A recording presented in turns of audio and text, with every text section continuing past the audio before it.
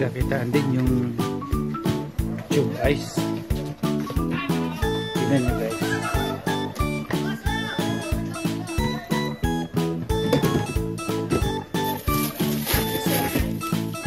Tignan guys. Itong ice na ito pag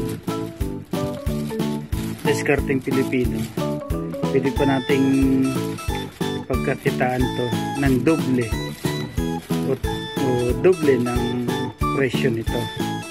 I-re-repack natin ulit siya.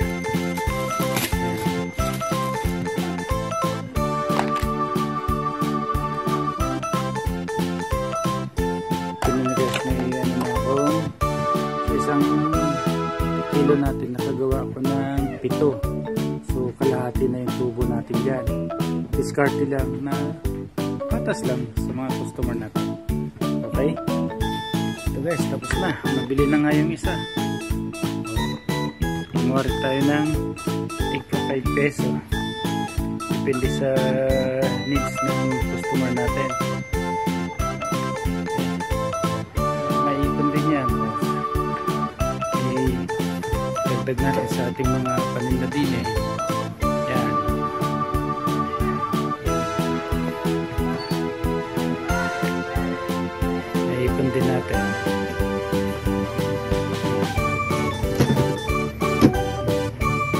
Show making natin no. Show po.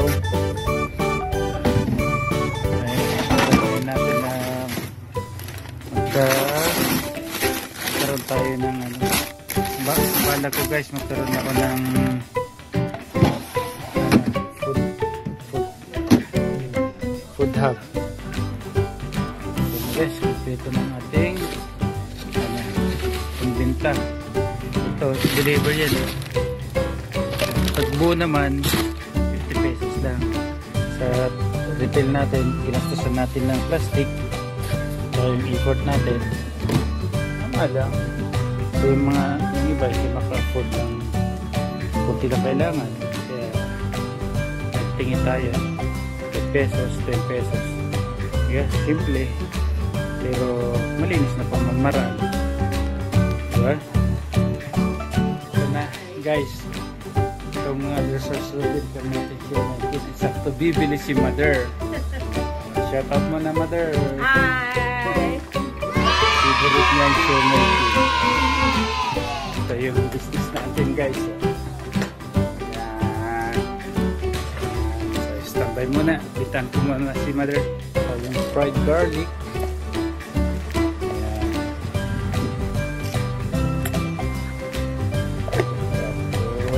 Ayaw ni mother ng ginawa kong sweet spicy. Ito na yung agad natin. Toyo mansi. Yung nabibiling guys na toyo with calamansi. Tapos, yung mother.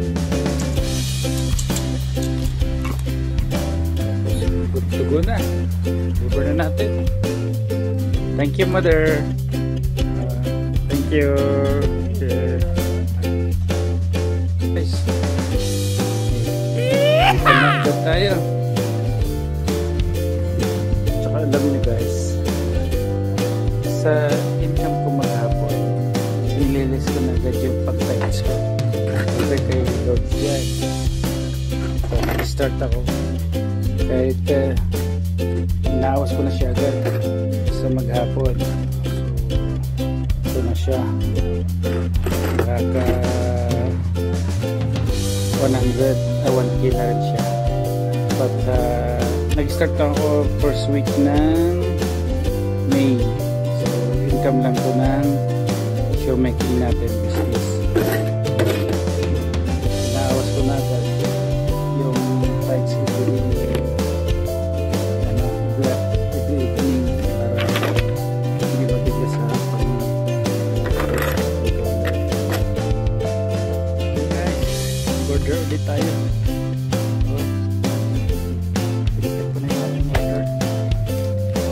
lahat ng mga gusto mag-order PM nyo lang ako. Ito na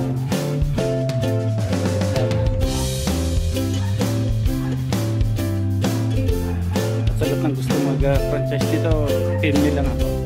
Yan ang ating business. International pasan karandere doable at workable ito. Yeah. Let's go guys.